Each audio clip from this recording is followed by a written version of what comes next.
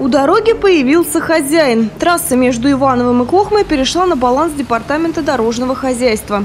Небольшой участок протяженностью менее километра уже давно никто не ремонтировал. Подрядчик поясняет, сейчас дорогу фактически строят заново. На этом участке перекладки коммуникации нет никаких. Мы ушли проектными решениями отсек перекладок. Здесь единственное, что заложено, это футляры на водовод, футляр на газ 800 и удлинение э, э, ливневой трубы. Дорога стала шире на полторы полосы, то есть до этого здесь было две с половиной полосы. Это самый узкий участок у нас остался между Суковским районом, Суховкой и Кокмой, протяженностью 800 метров. Теперь мы полностью сделаем заезд со стороны Нижнего Новгорода четырехполосным движением.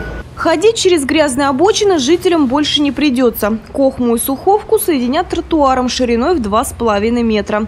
Вдоль трассы появится освещение, которого уже давно не было на этом участке. В наших планах продолжить эту работу по Кохме, потому что дорога через Кохму тоже перешла на баланс Департамента дорожного хозяйства, и там проектируется такая же работа, и расширение, и э, тротуары, ну вот все то, что мы сделаем на этой дороге. Планируем эту работу начать в следующем году, ну если э, оправдаются прогнозы по формированию дорожного фонда.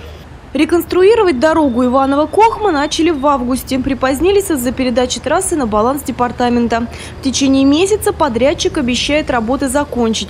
Так что до начала зимы кахамчане и ивановцы еще успеют сходить друг к другу в гости по новому тротуару. Елена Белова, Олег Мелехин, РТВ Иваново.